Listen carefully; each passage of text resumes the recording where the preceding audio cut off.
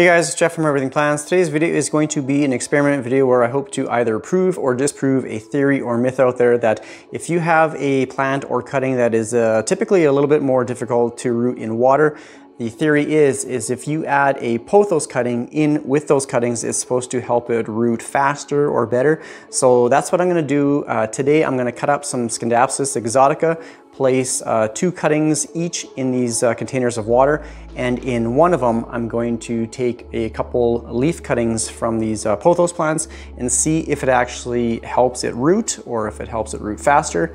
So yeah, just a little experiment and uh, we'll see how it does. So I'm just gonna cut these up here. I'm not gonna do like a propagation tutorial, but uh, basically you just want to take um, some individual leaf node cuttings. I'm gonna cut four of them here and I'll place them in the containers here. So I'm gonna do two in each, just kind of drape them over the side. Actually, I'm gonna trim this up a little bit. Don't need that much stem, just as long as there's uh, some little aerial roots right there for root development. So I just took a small little section off of my pothos plant from up here. It has uh, some fresh cut ends and I'm going to cut them up into single leaves like the uh, Exotica.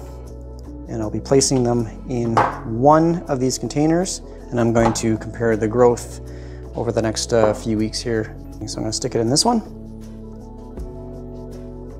just like that. And I'll set them aside in a kind of bright sunny area and I'll definitely be providing some updates here soon. So can't wait to see uh, hopefully some good results. I've been checking these cuttings every day now. It's uh, day five and the pothos cuttings have definitely started to sprout some roots. That's pretty surprising. That was uh, very quick. This one is getting some nice roots there as well. The uh, Scindapsus cuttings doesn't look like any any new roots or root development yet. I'm hoping that we'll start to see some here fairly soon. But this one, no new fresh roots popping out of those ones. So now we'll move on to just the Scindapsus ones. Doesn't look like anything on this one yet either. I haven't done anything with the water yet. I'm not gonna be changing out the water in these containers. I'm just going to add water as needed, just because if there is a natural occurring hormone from the pothos plants, I don't want to uh, keep dumping it out. Mind you, it'll probably regenerate anyways. Um, but yeah, I'm just going to add some water in, just make sure it's topped up, and we'll go from there. It's been 17 days now, and the pothos cuttings have uh, definitely rooted very nicely. This one's got some good roots on it as well.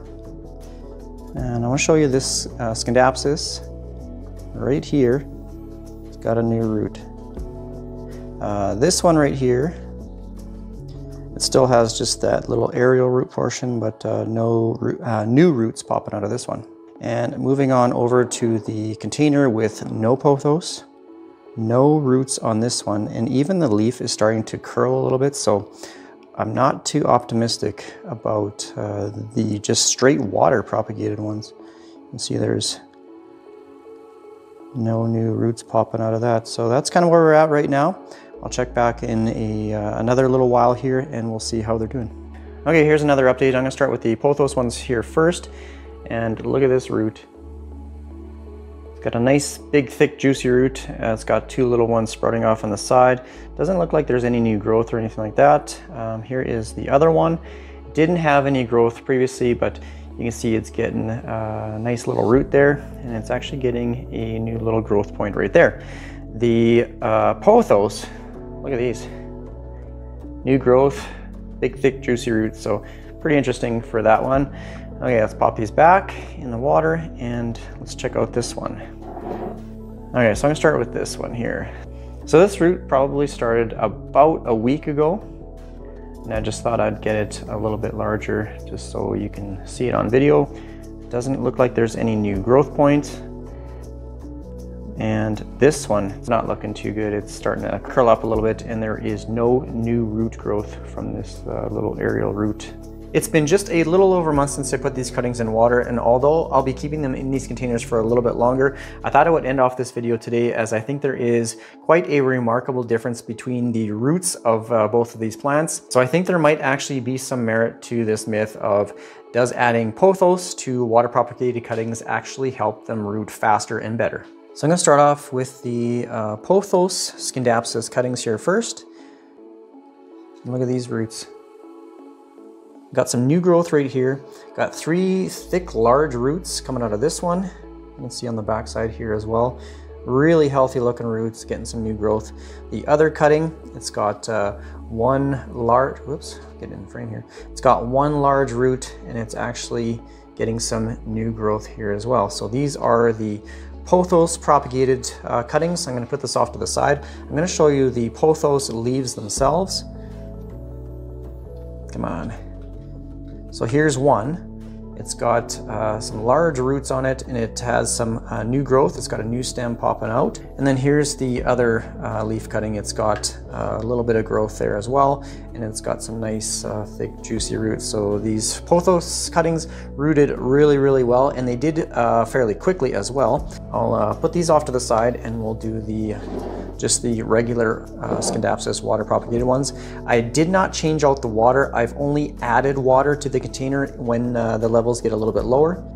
Here's the one cutting that actually got a root. It looks like maybe a little bit of new uh, growth popping out the side there as well. But the uh, size of the, uh, of the root here is a little bit smaller and a little bit thinner. And then this one here, it doesn't have any roots at all. It never did uh, pop out a root. You can see there's a little aerial root right there. Just by looking at the difference between the two set of cuttings here, I would definitely say that the pothos had an effect on the size of the roots as well as the rate of root production. I think uh, it was this one here that uh, sprouted first and uh, these ones were a little bit slower. Well, this one didn't get any roots at all, but so yeah, I think it does benefit to add pothos cuttings in with uh, your water propagations. So I think that's going to be pretty much it for this video. I think the results speak for itself. I got some nice uh, big juicy roots on the uh, pothos propagated cuttings and not so much on the uh, water propagation, just straight water. So let me know down in the comment section if you've ever tried this uh, in the past or if you add pothos cuttings to your water propagations. Um, if you have any other comments or questions, please leave it down in the comment section. I always appreciate the support. Thanks for watching my videos. Take care everyone. Bye.